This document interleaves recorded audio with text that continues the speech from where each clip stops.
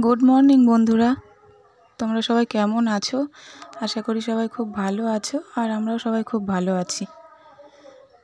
তো আজকে সকালে একটু দেরি হয়ে গেছিল ঘুম থেকে উঠতে। ঘুম থেকে উঠে আবার ভিডিও এডিট করছিলাম, তাই সকালের কোনো কাজ টাজ তোমাদের সাথে শেয়ার করা হয়নি।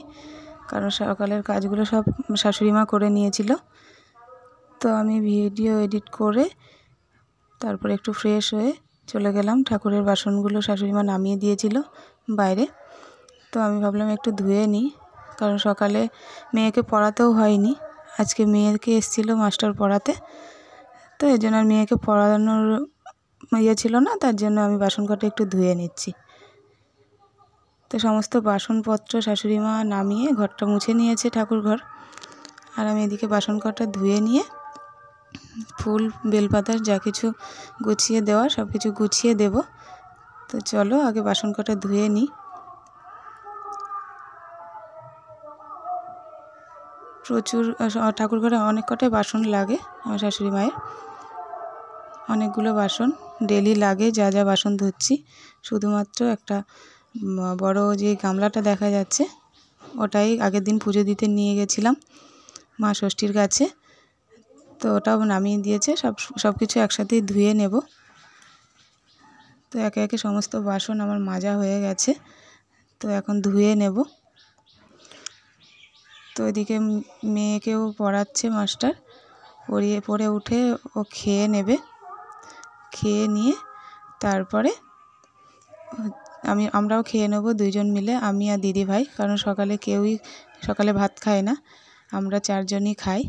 আর এই দেখো তোমাদের দেখাচ্ছি, সমস্ত বাসন ধোয়া হয়ে গেছে, ধুয়ে নিয়ে।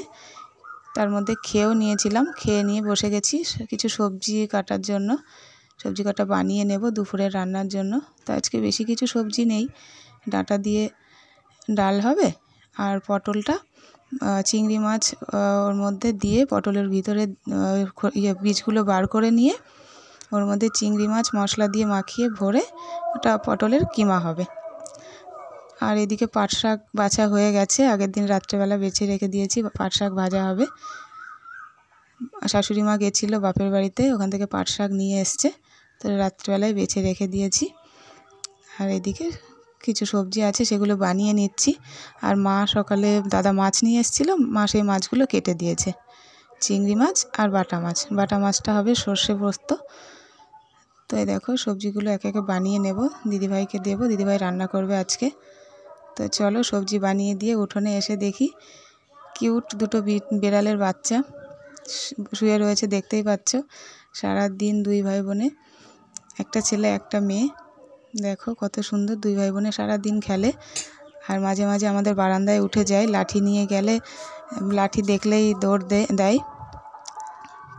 তো তারপরে বারোটার সময় মেয়ে স্নান করিয়েছি। আর এখন বাজে একটা, আমি স্নান করে এই যে দেখতে পাচ্ছ পুচু সোনা, এর আগের দিনও দেখিয়েছি। তোমরা হয়তো ভাববে যে এটা কে? এটা আমার সেজ কাকা শ্বশুরের বড় ছেলের বাচ্চা। আমার শ্বশুর আছে আর ভাই, এটা সেজ কাকা শ্বশুরের বড় ছেলের ছেলে।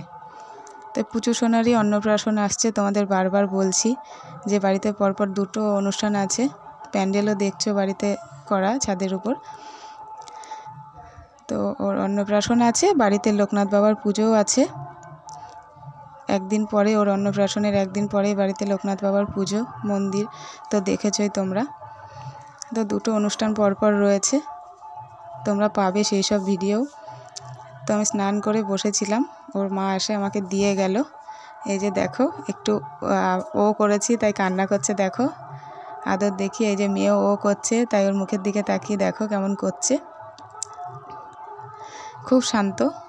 খুব একটা কান্না করে না, পেট ভরে খাইয়ে দিয়ে শুয়ে রাখলে ও সারাদিন শুয়ে শুয়ে খেলে। তারপর এই যে দুপুরের খাবার, মেয়েকে খাওয়াতে বসে গেছি, পাট শাক ভাজা, আর এই যে পটলটা বললাম রান্না হয়েছে ওইভাবে, আর বাটা মাছ, ডাল, চাটনি সব কিছুই নিয়ে বসে গেছি। এদিকে আমার শাশুড়ি মা খাচ্ছে, আর এদিকে মেয়েকে আমি খাইয়ে দিচ্ছি। বলল, নামার কাছে খাবে। আমার শাশুড়ি মাকেও নামা বলে ডাকে। ঠাকুমা বেরোতো না, তাই নামা বলতো, নামাই বলে। এই যে খাচ্ছে, দেখো। পাট শাক ভাজাটা খুব পছন্দ করছে মেয়ে।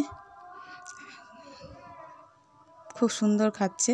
আজকে বলছে, মা, একটু বেশি করে নিয়ে তো শাক দিয়ে খাইয়ে ডাল দিয়ে ভাত মেখে এই যে পটলের ভিতরে যে চিংড়ি মাছটা দিয়ে রান্না করেছে, এই যে চিংড়ি মাছটা বার করে, ও আগে চিংড়ি মাছটা খাবে। কারণ চিংড়ি মাছ ওর খুব পছন্দের, তোমাদের তো আগের দিনই বলেছি।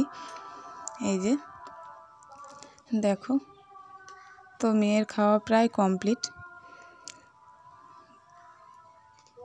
এই দেখো, খাচ্ছে।